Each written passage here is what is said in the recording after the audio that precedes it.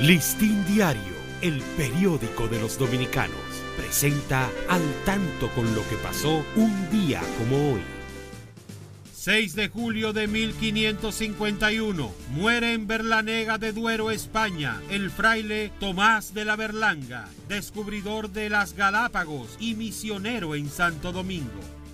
1689, en el lugar denominado La Herradura, es liberado el sangriento combate entre tropas francesas comandadas por M. Gussi, gobernador de la parte francesa, y la gente puesta en armas por el gobernador Vinuesa, resultando los franceses vencedores de la contienda. Listín Diario, el periódico de los dominicanos presentó Al tanto con lo que pasó un día como hoy.